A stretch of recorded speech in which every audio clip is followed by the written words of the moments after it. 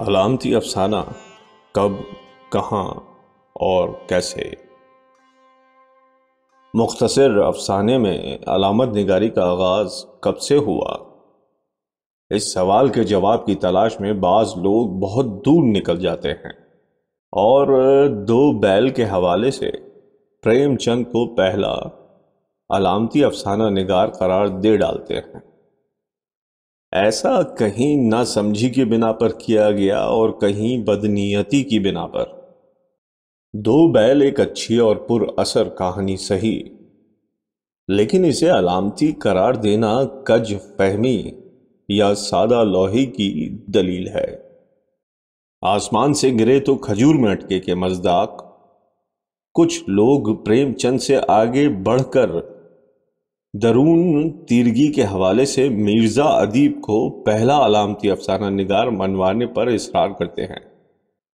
जबकि दरून तीरगी किसी तरह अलामती अफसाना नहीं था।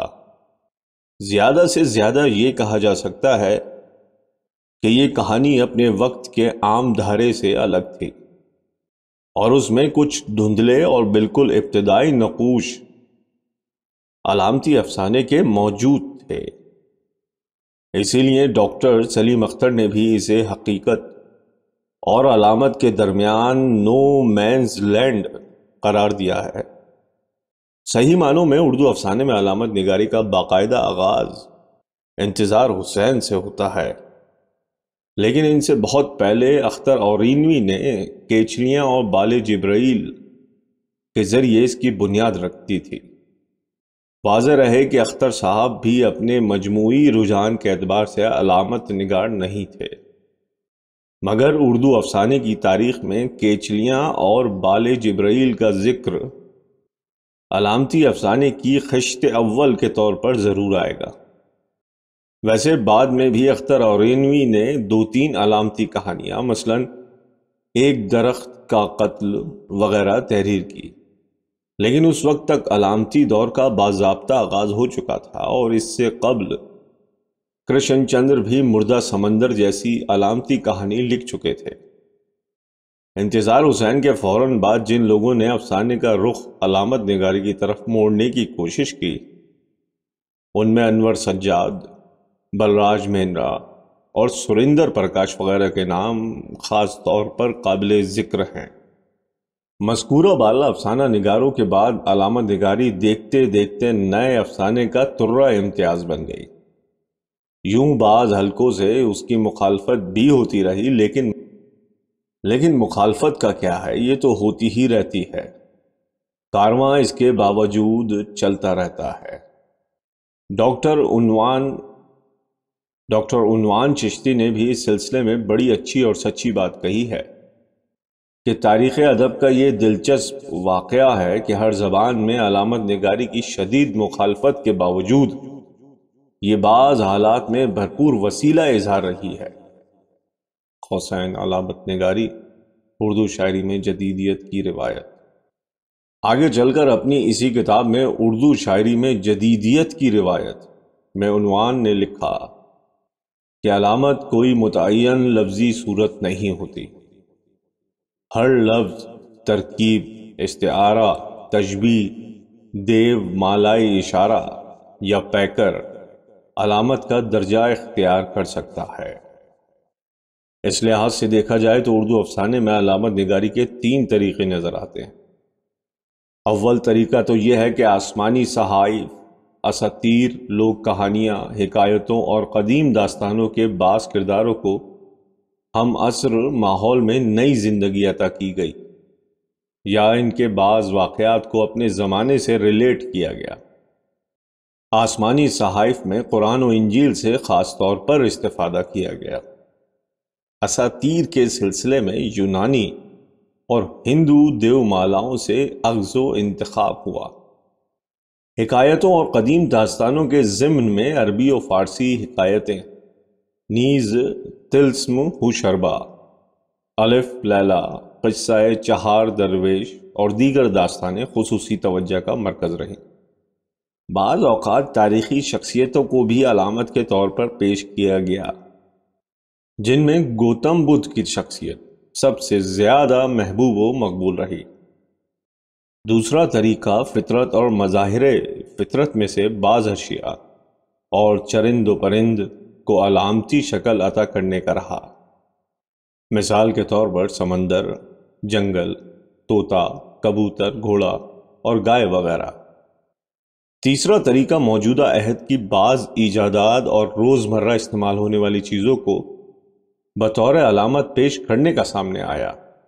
जैसे बस, साइकिल, फोर्कलिफ्ट और माचिस वगैरह। मगर यह समझना सही नहीं कि एक अफसाना निगार ने खुद को किसी एक मखसूस तरीके कार तक महदूद रखा और दूसरे ने किसी दूसरे तरीक़ाकार तक। आमतौर पर अफसाना निगार तीनों तरीकों को अलामत साजी के लिए इस्तेमाल करता हुआ दिखाई देता है। ऐसा कोई अफसाना निगार शायद ही नज़र आए, जिसने अलामत निगारी के लिए कोई एक मखसूस तरीका मुंतखब करके सिर्फ़ उसी को मुस्तकिल तौर पर बरता हो। पिछली दो दिहाइयों में जिन अफसाना निगारों ने अलामती अफसाने लिखे हैं, उन्हें तीन खानों में तकसीम किया जा सकता है। अव्वल वो जिन्होंने इब्तदा तो रिवायती अफसाने से की थी, लेकिन बाद में अलामती अफसाने की तरफ़ आ गए। दोम वो जिन्होंने आगाज़ ही अलामती अफसानों से किया। और वो सिर्फ़ अलामती अफसाने ही लिखते हैं। सोम वो जिन्होंने अलामती अफसाने भी लिखे और बयानियाँ भी। और अब भी वो बैक वक्त, दोनों तरीक़ा हाय इजहार में कबा आजमाई कर रहे हैं।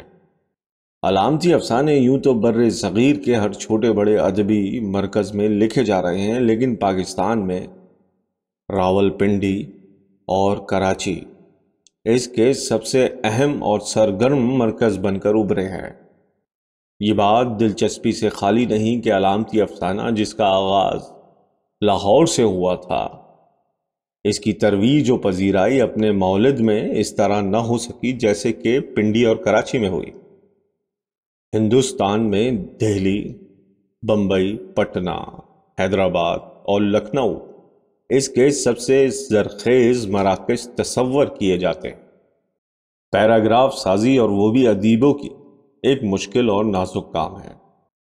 मुश्किल इस एतबार से कि तमाम लिखने वालों के नाम ढूंढ ढूंढ कर यकजा करना मुस्तकिल मुताल और तलाशो जस्तजू के बगैर मुमकिन नहीं।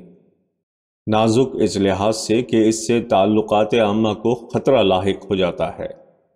फिर भी बाज़ अवत फहरिस्त साजी नागुजीर हो जाती है ताकि ये मालूम हो सके कि कौन क्या है और किधर है। अगर ये काम आज नहीं किया गया तो कल और मुश्किल हो जाएगा। और कन्फ्यूज़न और बढ़ते रहेंगे। लिहाजा अब ये देखिए कि पाकिस्तान में अलामती अफसाना निगारों की फहरिस्त में कौन कौन से नाम शामिल हैं। छोटे, बड़े, मामूली गैर मामूली की बहस से क़त नज़र।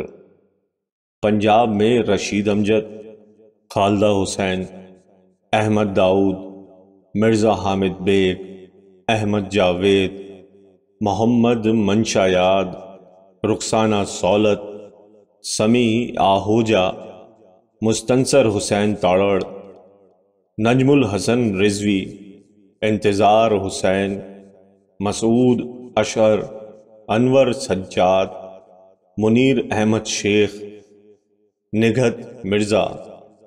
अर्श सिद्दीकी, मोहम्मद अहमद काजी, असलम सिराजुद्दीन, अनवर अहमद, मजहरुल इस्लाम, अली तनहा, इकबाल नज़र, अंजुम तिरमिज़ी, मंसूर कैसर, मुश्ताक कमर और सलीम आगा कजलबाश वगैरह।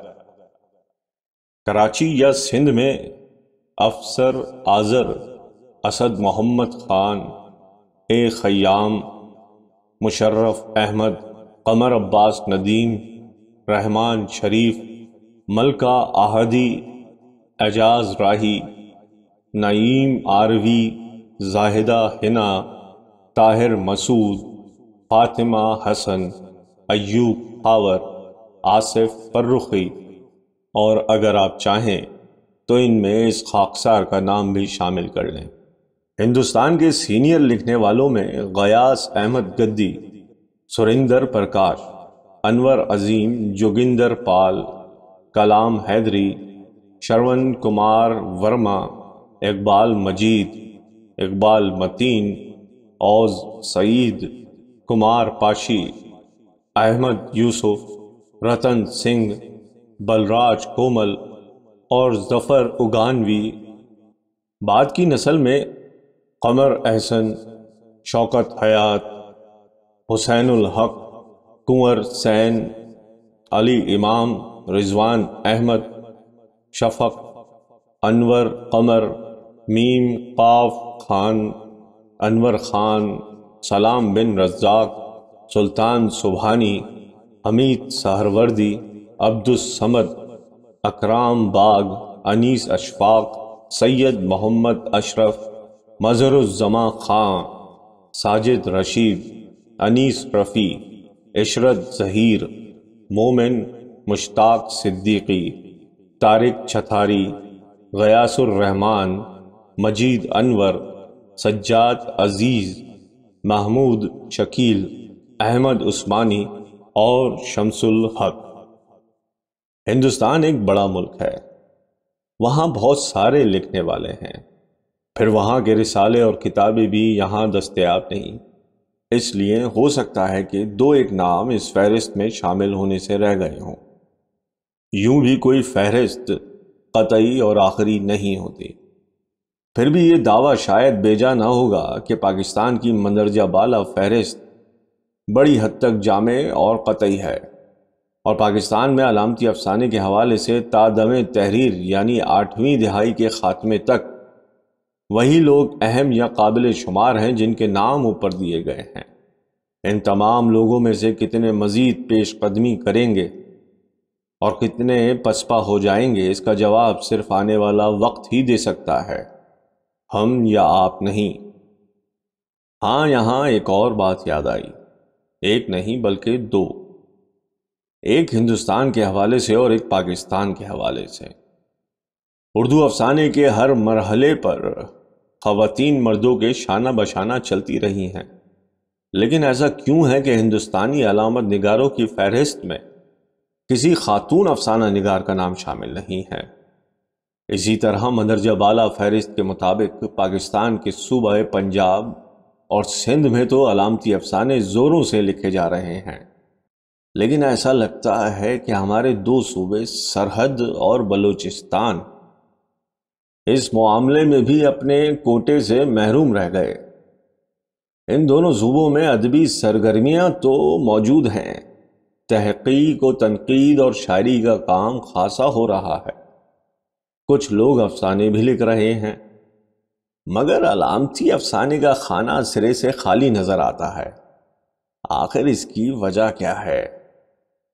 ये एक नया और दिलचस्प सवाल है जिस पर गौर किया जाना चाहिए। बशर्ते कि हमारे नक्कादों को इतने ज़िंदा सवालों पर गौर करने की मोहलत और तौफीक हो।